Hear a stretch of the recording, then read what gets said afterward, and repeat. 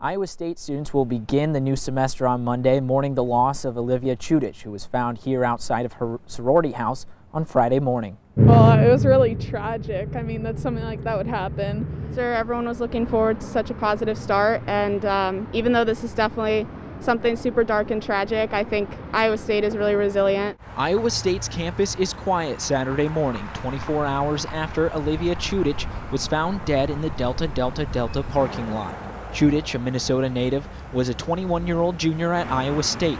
Her family released a statement Friday night calling her the light of our lives. Her mother, Margaret Chutich, is a Minnesota Supreme Court justice. Many have reached out to offer condolences, including Minnesota's U.S. Senator Amy Klobuchar, tweeting, My heart aches today for Minnesota Supreme Court Justice Margaret Chutich and Penny Wheeler, who lost their beloved daughter, Olivia.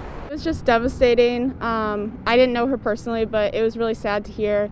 Um, I think like all of Iowa State and the whole CPC community is really hurting for her and her family right now. Iowa State's Delta Delta Delta sorority posted a tribute on their Facebook and Instagram saying, in part, she lit up every room she walked into and made an impact on every single person she met. We are grateful to have been a part of her beautiful life and to have shared a special bond of friendship with her.